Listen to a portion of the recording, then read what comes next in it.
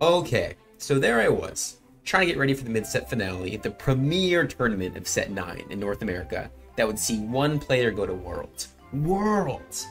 And I wanted to be that player.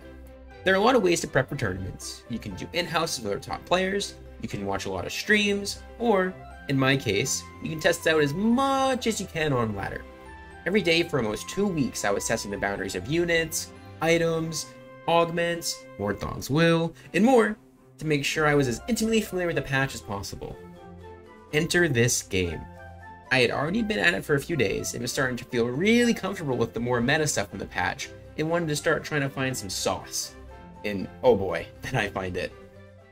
She is a little monstrous in her ability to just kill everything. Is the Oh, he does get more HP the higher level star level he is. Oh man. Not that it really matters. It's 5 HP. It's not like it's not crazy. Is Cho busted in hyper roll with the double bonus HP thing?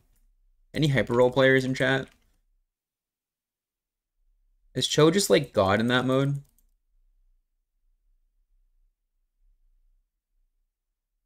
Do do do do do. Yeah, Vel'Koz is definitely really good. Oh, what the heck? Four poppies, four chos. No knowers. I just thought up of a. I, I just thought up a, a really interesting idea for a board just now. Hopefully, it doesn't come to pass. Now, I know what you're thinking. Oh god, he's gonna reroll Poppy or Cho'Gath. And I'm happy to say that I'm not rerolling Poppy or Cho'Gath. I'm rerolling Poppy and Cho'Gath. The thing is, one of the most important parts of TFT is being able to adapt to what you hit, and to turn as much as you can into a high roll. If you get to a point where you can plan around everything, then there's a lot more you can high roll game to game. The way to get comfortable playing around everything is to try stuff out. And if I want to win mid-set and get to Worlds, then I need to know if rerolling Poppy and Cho'Gath is a viable out. But don't worry, I was pretty sure we'd be fine. And for one reason in particular. One furry, annoying, probably kind of smelly reason.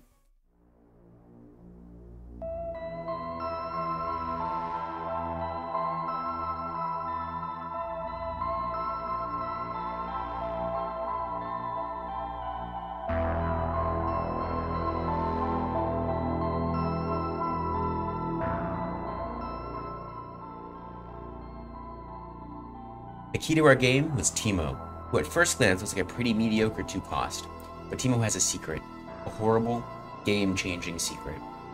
When you have Teemo 3 and two other 3-starred units with the Yordle synergy on your board, Teemo goes from one of the worst units in the game to maybe the single best unit.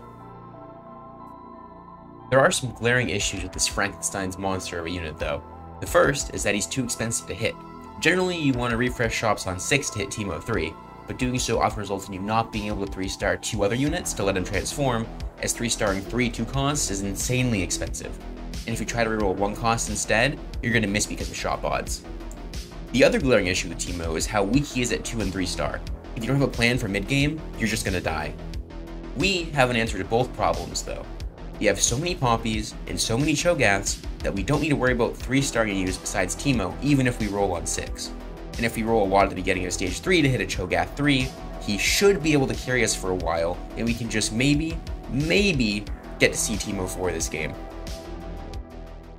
So, with my hopes of prepping for mid-set on the line, I did the do. First things first, I rolled for Cho 3 on 3-1, and that guy was popping off over the next couple of stages. He was eating, he was stacking, and most importantly, he was keeping me healthy while I saved up some gold to try to find Teemos. I found and played Vel'Koz, which made bridging the gaps between Teemo, Poppy, and Cho way easier. You could say he was the weird tentacle thingy glue keeping the team together. I started hitting more Teemos, I was only one Poppy away from Poppy 3, and I got a Tactician's Crown from the portal, letting me play another unit. Things were looking good. I had made one major mistake though, and that's this thing. Here's why. It's time for some math. Some mana math. Mana is a stat that's a lot more grounded in practicality than other stats. For example, 15 extra AD will always be better than 10 AD, and it'll affect the fight in some kind of way. Uh, but 15 mana is often no better than 10 mana. But, but, Mr. Appies, it's a bigger number. Why isn't it better? That's a great question, little Timmy. To get our answer, we have to look at how units generate mana. There are two ways for that to happen. Way 1 is to attack, which will always generate 10 mana unless you have a Spear of Shojin, then it'll be 15 mana. Way 2 is to get hit, and that generates an amount of mana based on how hard the hit was. Once you get enough mana to cast, any extra mana generated is lost until the casting period is over.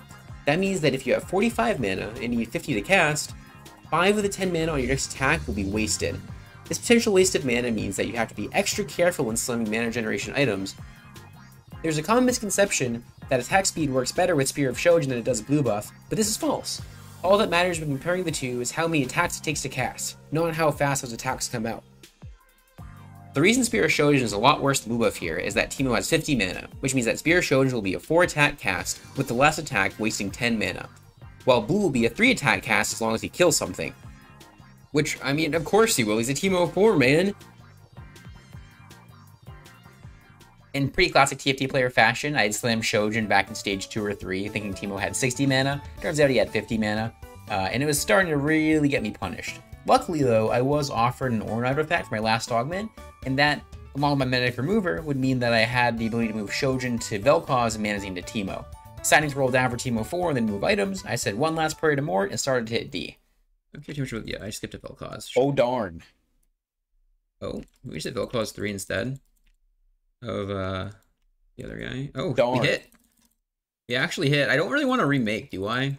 Maybe I should just remake. I'm just gonna remake. It's probably better to remake than to try to go Vel'Koz 3 here. And so, with Teemo 4 on the board, the slaughter began.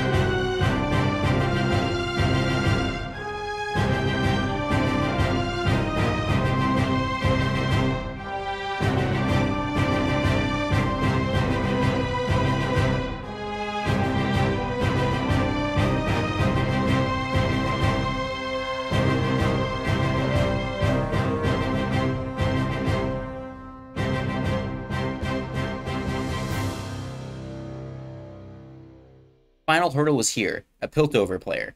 I lost the fight and needed to win two more, but I knew what I had to do. With some good positioning and some really bad humming, I might just be able to do it. Like this, then the Urgot can't get on my back line.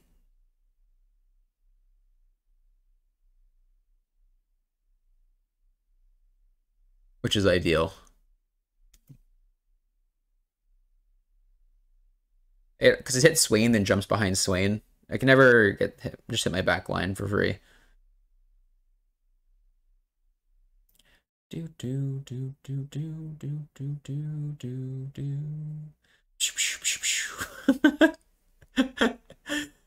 Dude, this hot this Teemo Darn. rolls people. God damn.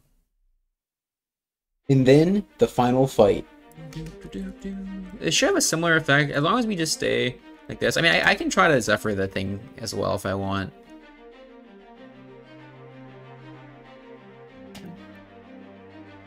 Get the Senna. I think I don't care too much about Zephyring the, uh, the Zeri. On a position like this, the fight should be okay every time, I think. Obviously, there's fight RNG, and I actually don't know how much of Teemo's shrooms are RNG and how much of them is just, like, consistent, but it looks like it's good. Not every roll is going to be apparent at first glance, but if you keep your mind open and your eyes wide, you'll be surprised at what you can find. That was a really fun game.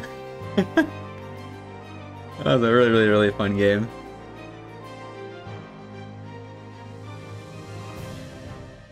Oh, and I lost a tiebreaker for 16th at mid set. Satch.